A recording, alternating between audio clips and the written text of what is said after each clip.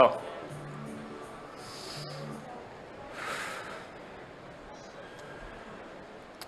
All right. Time. Hi, so good to see you. Over my years of competition, even as an Indonesian, I had my doubts in trying to serve our own coffee at the highest level. The problem lies in generic tasting coffees that we have back home due to the coffee varieties that we have, as well as the processing methods that we choose to do to them. All of them are geared towards high yield and fast turnovers. But I knew we could do something about this. And as the saying goes that if you want to see change, you be change. So I gathered my own team of agents of change, and together we spent years trying to make coffee that one day can shatter all of our doubts and prove us all wrong. And I'm happy to say to you that that day is today. So we're going to start with our signature beverage to see what is possible. We're going to use coffee from the same Indonesian region throughout, so I'll tell you more information about the coffee as we move along. For your signature beverage, we're going to use a traditional full wash Indonesian coffee.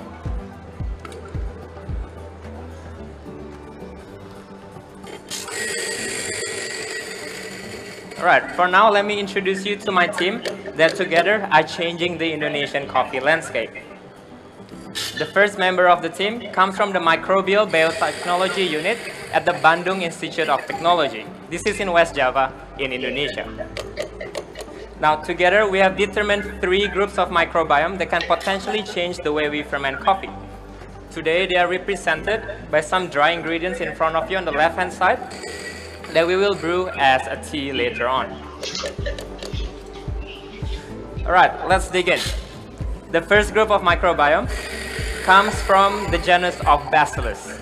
Now Bacillus, they break down polysaccharides in coffee fermentation into oligosaccharides and this makes for a creamier cup of coffee. Today they are represented by dried honeysuckle for their ability to improve the tactile of our tea. The second group of microbiomes comes from the genus of Klebsiella. Now Klebsiella, they break down pectin in coffee fermentation into monosaccharides. And this is responsible for sweetness in our coffee.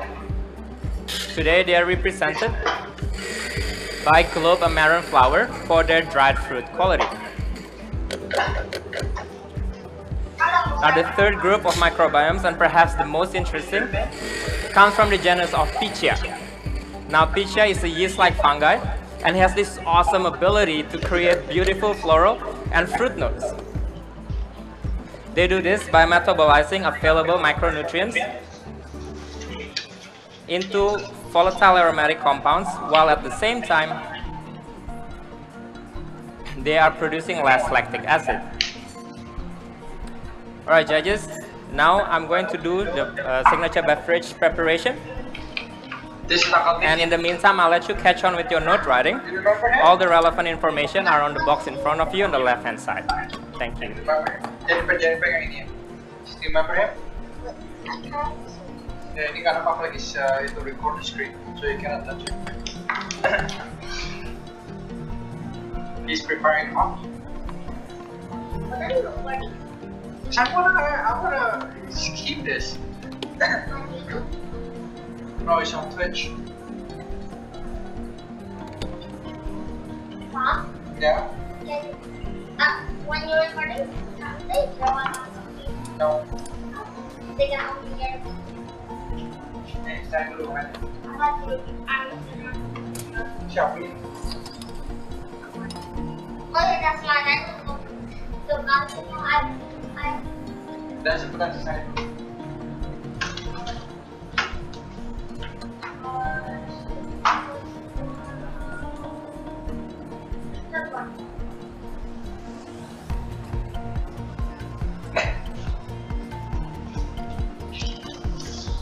Alright, now we're going to build our signature beverage. For that, I'm pouring 4 shots of your espresso, made using 21 grams of coffee to 42 grams of espresso, over these whiskey rocks to cool it down slightly. Also, we're going to brew our ingredients. 100 grams of 80 degrees Celsius water to release all of its beautiful flavors. While waiting for this to brew, we're going to make an inoculated espuma to improve the texture of your beverage.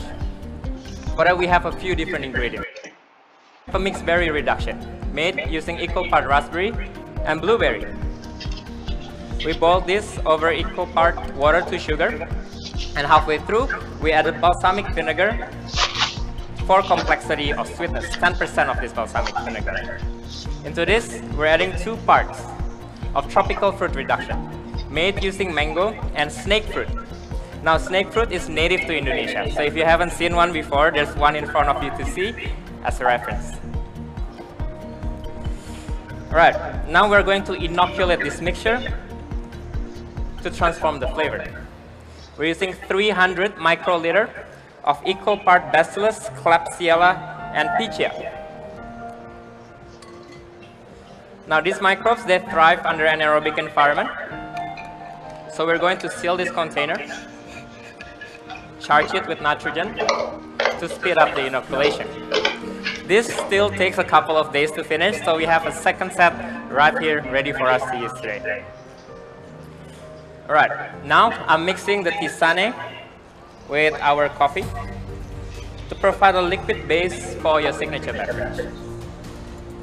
In each glass, you will receive 44 grams of liquid base and we're adding 20 grams of our inoculated espuma.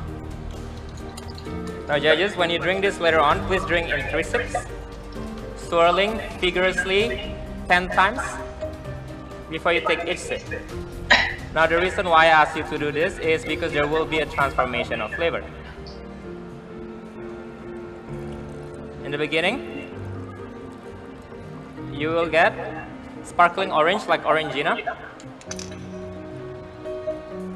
and peach.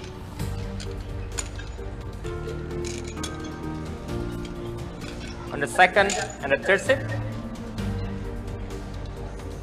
you get bergamot and grape candy.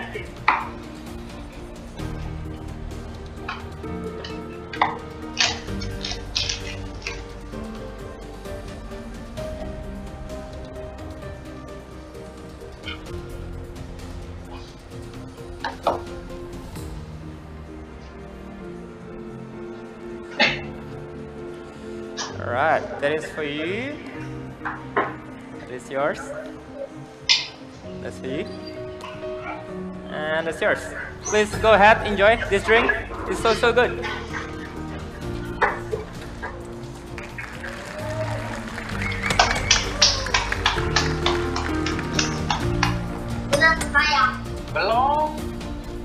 Sama plastik. Ya ikutin dong. Kalau terdaftar di setelahnya kan. Right?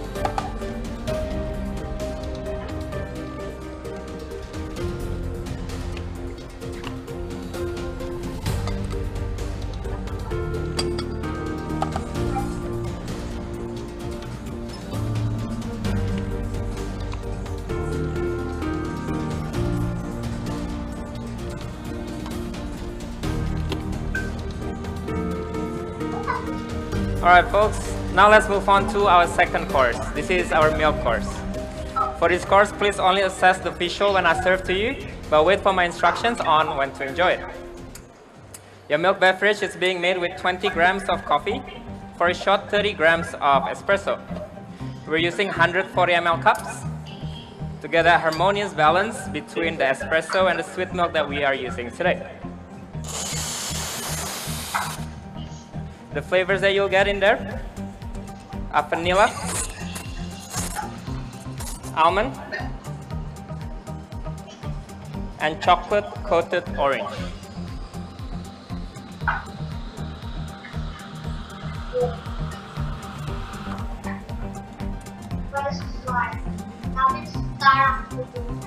Now for this course, we ask folks like yourself on what they would like to taste in our Indonesian coffee.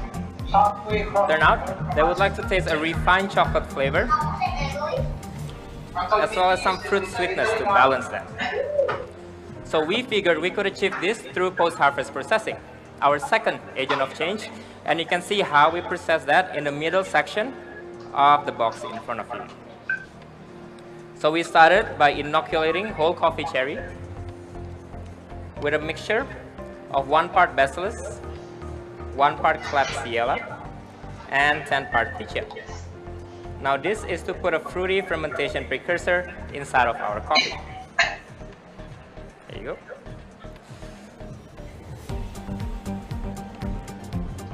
Then we put this coffee inside a 1000 liter water tank and seal it to create an anaerobic environment. Very similar to the way we did our signature beverage. There you go, please wait for my instruction. Then we let the fermentation continue until 3.8 pH, allowing us to bring out a lot of acetic acid, giving a chocolatey flavor in our coffee. We then take the coffee out, we dry them for six weeks as natural coffee. Please wait for my instruction. And it's long and slow drying. It's what's allowing us to bring out that fruity flavor that we have in the coffee.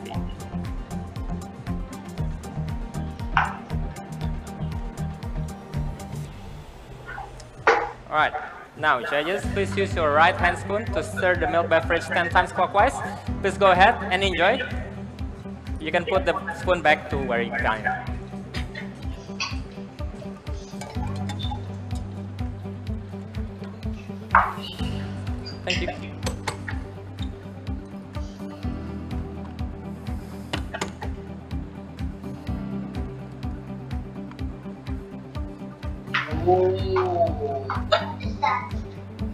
That's a serving box.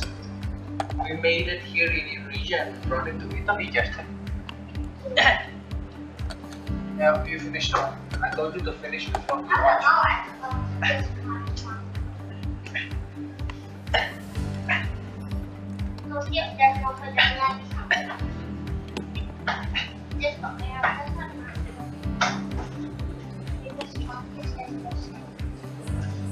How do you know you don't even drink coffee? You said coffee doesn't. Alright, let's move on to our final course, your espresso course. Again, for this course, please wait for my instructions on when to enjoy the coffee, but you can assess the crema straight away. Your milk beverage is being made with 20.5 grams of coffee Are there to yield 48 grams out in 90.6 gra- uh, 90.6 degrees Celsius water. This is to bring out all of its flavor. This course is made slightly differently to your milk course. We started the same way, we use the same inoculant with a little bit more Pichia in it, but we stopped the fermentation at 4.2 pH, allowing us to be right inside the malolactic fermentation window. Now this window convert a harsh lactic acid into a softer, creamier version of itself. There you go. Now this gives you a taste experience of soft fiber and acidity throughout with a medium plus sweetness and a retronasal sensation of fruits. The flavors that you'll get they are grape candy, plums, and also round and juicy texture with a lingering aftertaste of green grapes and you also get pineapple juice inside of your taste. Alright folks, now it is time for us to meet our final and most important agent of change. They are the heroes of this story, the people who helped create me this coffee. They are the people of the Manggarai region in Flores in, in Indonesia. Together we process this coffee in a little town called Ruteng, which is surrounded by mountains where our coffees are from. Uh, this coffee is a Kartika cultivar. It is a Katimor hybrid that is very common back home. Left alone tastes generic, but now we can improve that through our methods. This year, through the work that we do in the region, we are directly affecting 700 coffee farmers in the area. I can only hope that through the work that we do here today and the work that we'll continue to do tomorrow, you and I will all be agents of change in impacting many more lives in Indonesia and beyond. Now please stir your espresso 20 times using your other spoon. Take three sips. Go ahead, enjoy. Matcha. Thank you, Mikael Jasin from Indonesia. Mikael, Oh, oh, haven't done that in a while. it's been two years. I know. Yeah, so does it feel different? Uh, a little bit, yeah. I think um, from Boston now you, you know you know what to do, but also you have pressure. People expect more from you, but you know No, we don't. maybe not You're you. so good. so would you like to thank some people at home? Oh, a lot of people, um, especially the folks who helped me make the coffee. Um, Andre, the processor, is actually Dre. Oh, um, he owns the processing farm. So I think people back home are watching. My team who helped create that box. My fiance also created that box. So Yeah. yeah. Okay, well, Vincente will have a longer talk with you later on. And now I will talk with your coach. Yeah. Let's join us in the seats. Thank you very much, Thank you, Mikael. Mark. Thank, Thank you. you.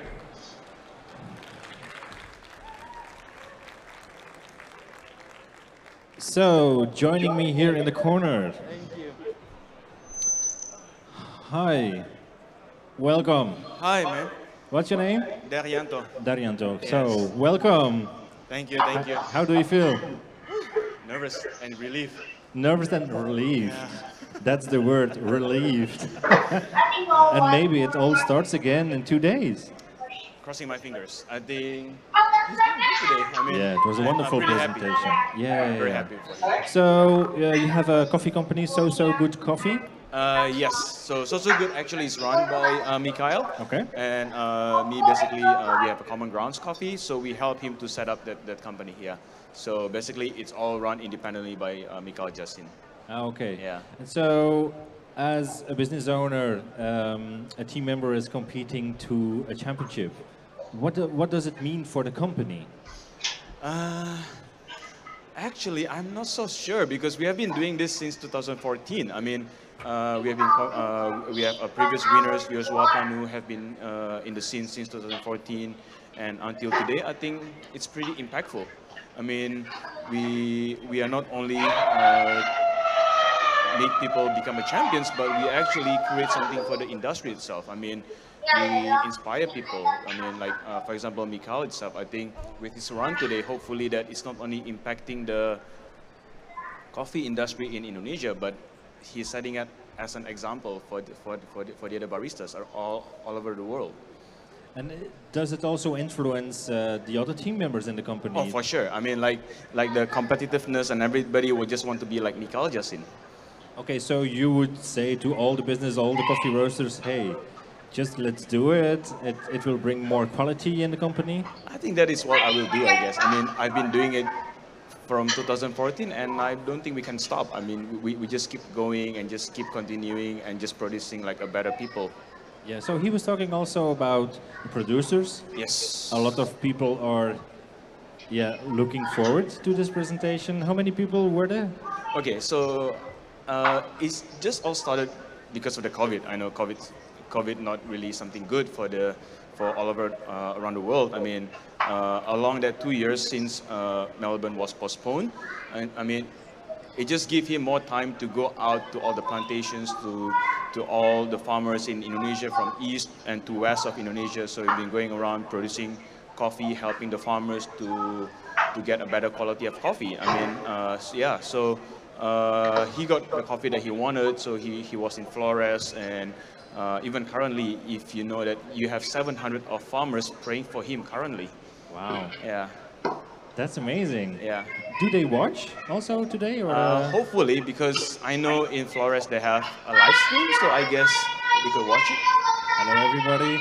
He did a wonderful presentation, and you can be proud of it. Yeah. Thank you very much. No. Okay. Thank you very much for you. being here.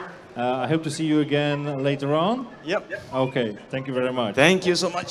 Okay, so I think it's time to see some more competitors who had an interview with Vicente. I think it's uh, up to team